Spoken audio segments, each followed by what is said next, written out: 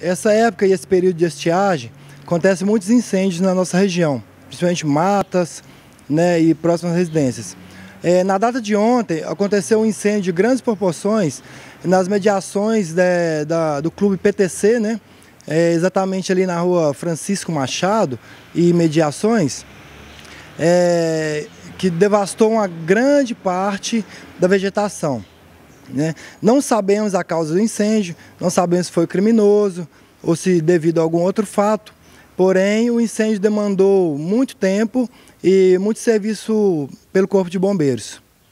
Sim, e eu gostaria que o senhor então desse dicas aí para as pessoas é, por esse período seco, né? Uma, uma, chaminha já pode se alastrar bastante para poder tentar aí não colocar fogo nos lugares. Com o Corpo de Bombeiros, orienta que as pessoas evitem né, de fazer limpezas em lote é, com queimadas.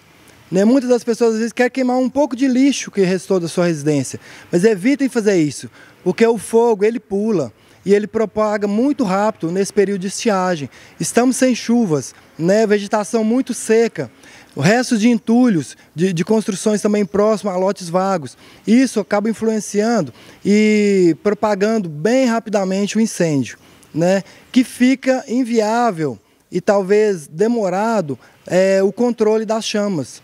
E nesse período, até mesmo a viatura e os combatentes do bombeiro chegar no local, esse fogo ele se espalha muito rápido, levando assim perigo para residências, né, outros lotes vagos próximos e também comércios.